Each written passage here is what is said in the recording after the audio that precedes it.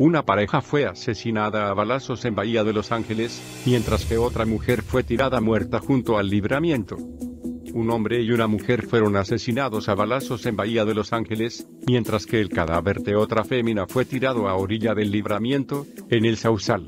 De acuerdo con datos de la Procuraduría General de Justicia, a las 9.15 horas se recibió el reporte de C4, indicando que en el kilómetro 6 del libramiento Sausal Colonia 89 se encontraba una persona tendida en la vía pública.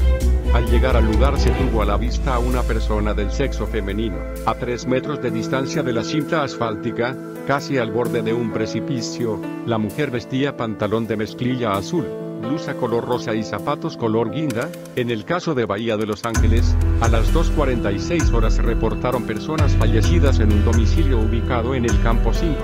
Se trata de un hombre de aproximadamente 55 años y una mujer de aproximadamente 67 años. Ambos presentan heridas por disparo de arma de fuego.